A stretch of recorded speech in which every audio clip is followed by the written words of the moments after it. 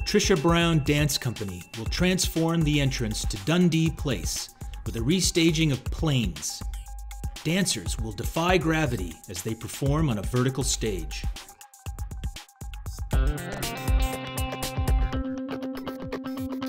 Inspired by Grimm's fairy tales, Tania Mouraud ventured into forests to film the machinery connected to the lumber industry. These machines are reminiscent of mythical figures in her video installation Once Upon a Time that will transform the exterior of Toronto City Hall's concrete facade.